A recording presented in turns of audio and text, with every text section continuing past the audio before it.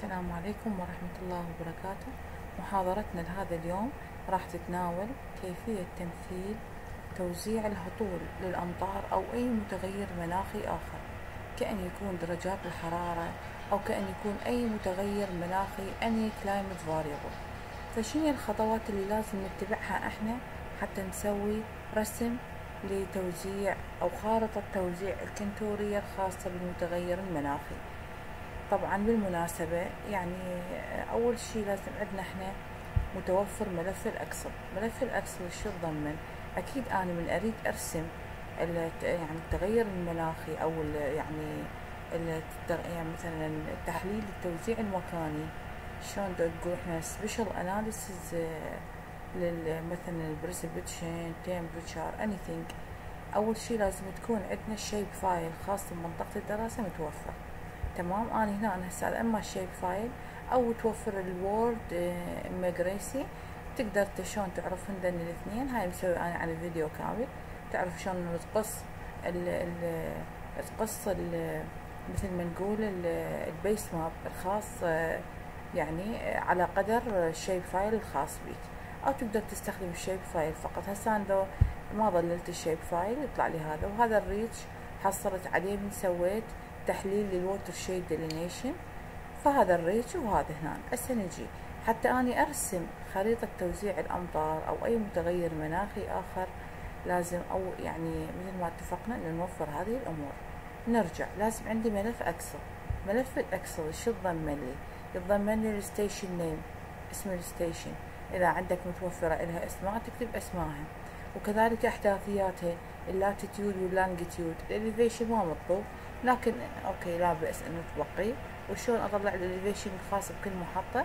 عندنا فيديو يوضح لك شلون تطلع ال elevation الخاص بكل محطة إذا ما عندك ال elevation. السقيط هذا المتغيرات المناخية اللي أريد أرسمهم أني. كأن يكون سقيط معدل هسه هذا وحداته بالملي معدل. هنا تلاحظونه. أو ال temperature حسب. هنا عندنا ال temperature max وال temperature minimum وعندنا ال average يعني ال temperature بصورة عامة لا max ولا minimum كأن يكون مثلا relative humidity speed solar radiation any climate variable. أريد أرسمه نجي. لازم قلنا هذا ملف ال Excel متوفر عندك بي يعني لكل محطة المعدل الخاص بها على حسب المتغير اللي أنت تريده. أول شي تروح على الملف تسيفه بصيغة ال text بالمكان وتختار مكان لا بأس بي مثلا هنا صار نختار بال desktop. آه من أختار بال desktop راح يصير التسييف على هذا الأساس. فدا أحفظه الحفظ راح يكون بهذه الصيغة. تختارها اللي هي text آه هنايا text أكو عندك صيغ عديدة لل text تختار الصيغة اللي هي هاي tab delimited هاي text tab delimited بعد ما تختارها تقولها save. تسيفت بال desktop هذه الصيغة. هسه راح أغلق ال Excel ملف ال Excel أرجع هنا أستدعي الملف اللي أني عملته بهذه الصيغة. وين أني سيفته؟ أقدر إنه استدعيه لهنايا هذا الملف مثل ما نلاحظه هنا. هنا خلينا نختاره. أنا سيفته بالديسكتوب. هذا الديسكتوب هنا. أقدر انه اني أستدعي الملف الخاص بي.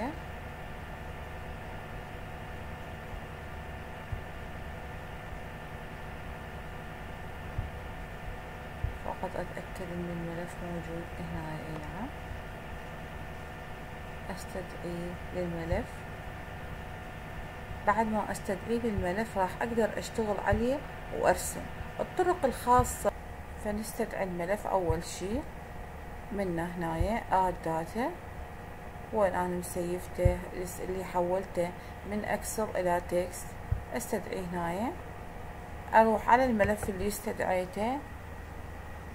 أسوي له display XY data أنطيه ال latitude شي يمثل لي بالمناسبة يظهر لك المتغيرات الموجودة بيه كلها فهسه شو تمثل لك هنا ال latitude ال longitude الخاص بال يعني كبيانات ال coordinate تتأكد أيضا من الإحداثيات النظام.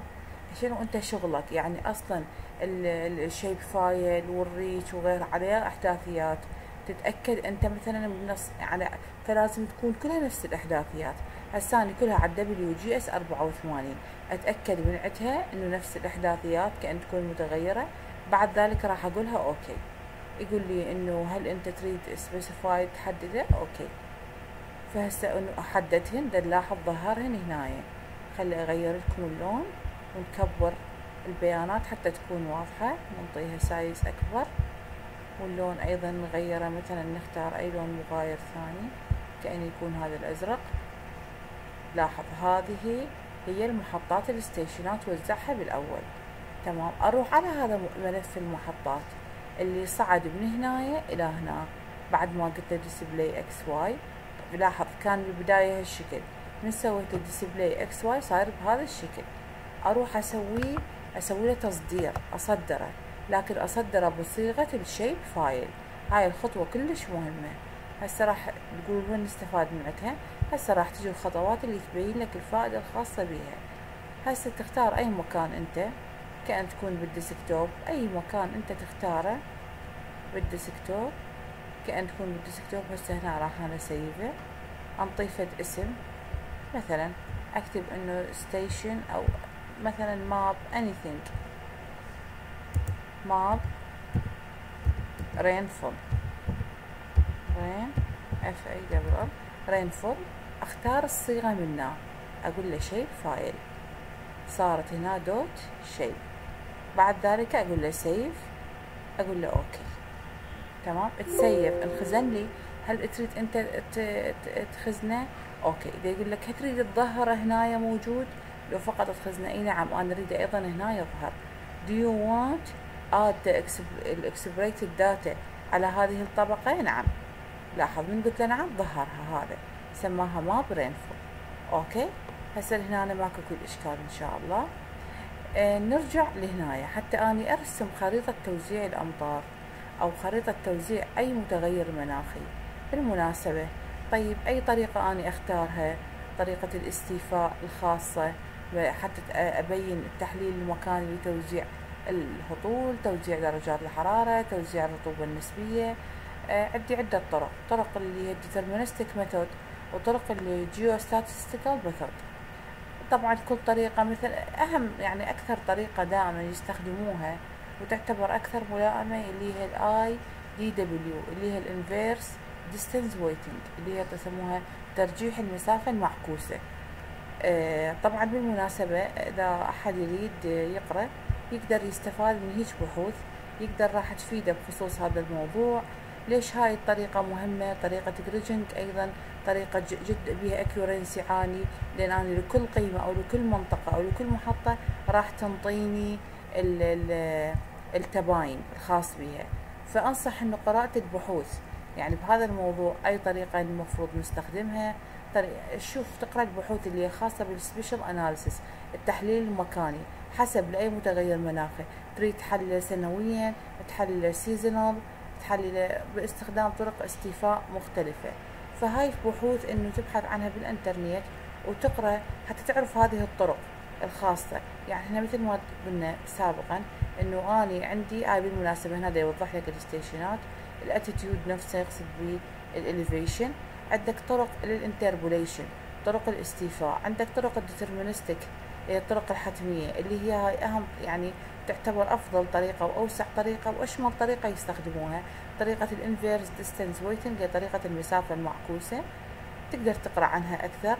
وعندك طرق ثانية اللي هي طريقة ال radial basis function عندك طريقة ال global polynomial المتعدد الاستيفاء المتعدد ال local المحلي وعندك طرق إحصائية ثانية اللي هي جيو إحصائي يسموه geostatistical method عندك طريقة kriging هاي طريقة كلش مهمة.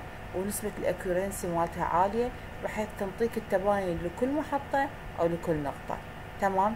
فعندك هذا التوسع الخاص بالموضوع. عندك طريقة ال empirical طيب ورا ما هذا شلون تسوي validation أي طريقة تستخدم؟ انت شلون تتأكد من مدى ال accuracy أو الدقة مالتها؟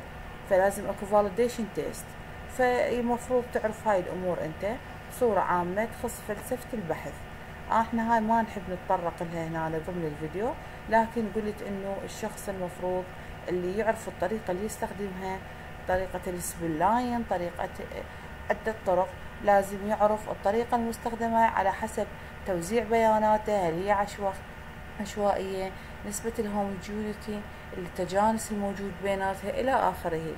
نرجع هسه للبرنامج الأصلي مالتنا الخاص به نروح على هذا الخيار ال ArcToolbox أو تقدر تبحث عنها هنا عن طريق ال research box تقدر تبحث. فنروح على ال ArcToolbox. بعد ما يظهر لي ال ArcToolbox هسه راح نعرف الخطوات اللي نسويها حتى نرسم آه، خريطة التوزيع خاصة بأي متغير مناخي نروح على الخيار الأول. الخيار الأول اسمه اللي هو أول خيار بال ArcToolbox 3D Analysis Tool. بعد ما تختاره تروح على ال raster interpolation شلون أسوي استيفاء لل raster؟ تضغط عليها عندك عدة خيارات. يعني حاليا يعني تكلمنا عنها.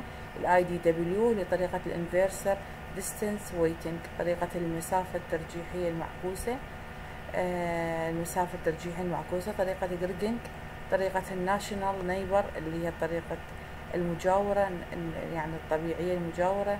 طريقة ال spline. عندك عندك طرق. طريقة الترند الاتجاه شلون نحلل الاتجاه يفيدنا بال temporal analysis فهسه لو أنا اختاريت طريقة ال IDW تمام؟ بعد ما تختارها لاحظ راح يظهر لك هذا. هسه نرجع. أي يقول لك ادخل ال input point feature ريتها بصيغة ال shapefile لاحظ هاي.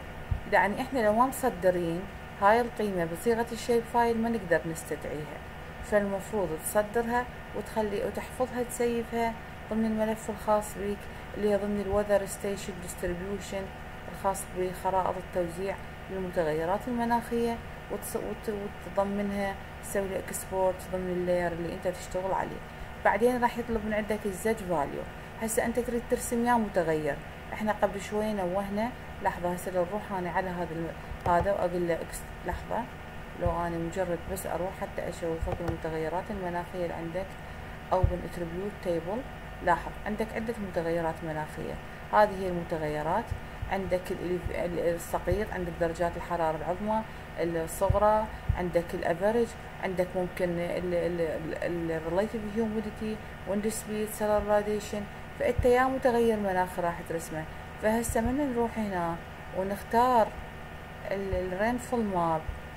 راح يطلب من عندي الخيار الثاني ال Z.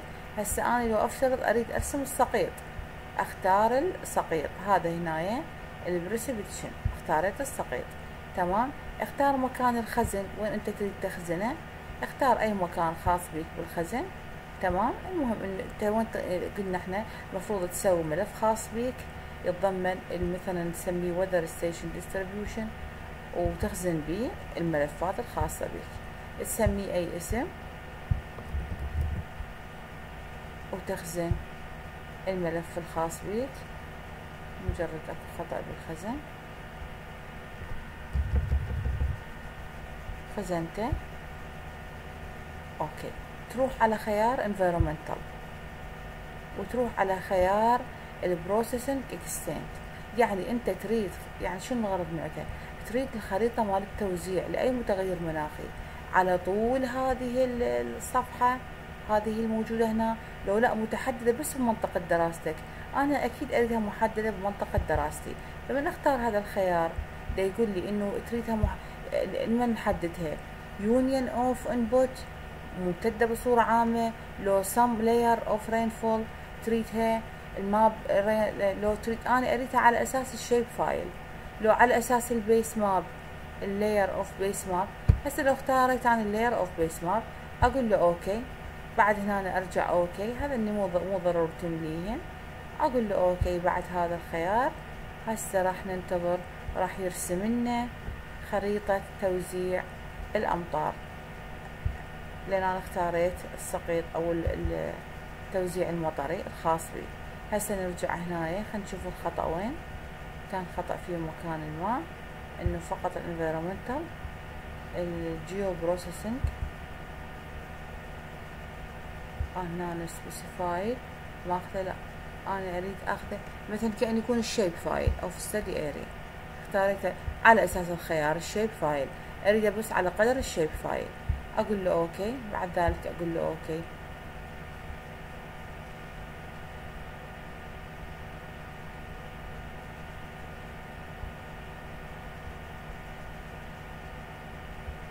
هسه دي, دي لنا ال processing على ما أنه تكمل خريطة توزيع الأمطار. الان اختاريت هذا المتغير المناخي حتى أرسمه. نلاحظ لاحظ يقول لك آي ال IDW تم بشكل صحيح عندك هنا الإشارة بالشكل الصحيح. لاحظ هاي خريطة توزيع الأمطار. بالمناسبة ما عندنا الأمطار فالمفروض أني أغيرهم. أغير الألوان الخاصة بالأمطار هذا طبعا الشيء راجع إلك بس هو دائما الألوان الخاصة بتوزيع الأمطار تكون ضمن تدرجات اللون الأزرق. درجات الحرارة تكون ضمن تدرجات اللون الأحمر. فهسه هاي خريطة توزيع الأمطار الخاصة بمنطقة الدراسة. أقدر أسوي ال stationات بلون مغاير. حتى يكونون ظاهرين أو تبين نقاطهم.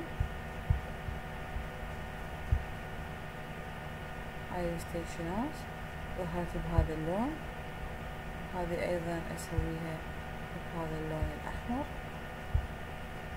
فدا نلاحظ هاي ال stationات الخاصة بمنطقة الدراسة تقدر أنت تعرف هاي عن طريقها التوزيع. أيضا إذا أردت ترتب الخطوط الكنتور إذا لو كانت أنت ما مختار خيار ال environmental extent كان تطلع لك توزيع هذه الخطوط يمتد إلى هنا. يمتد على كل وبعدين تسوي كليب وقص وكذا. فراح تصير عليك الطريقة بشكل آه، أكبر أو تحتاج وقت أكثر. فهذا الخيار راح يغنيك وراح يقص لك التوزيع يكون على فقط منطقة الدراسة. تلاحظ هنا توزيع الأمطار يمتد من المناطق الأكثر إلى المناطق الأقل أمطارا على حسب التوزيع الجغرافي والمناخي الخاص بهذه المنطقة آه إن شاء الله نقدر إحنا نكون خلال هذه المحاضرة وفينا في الجزء بسيط.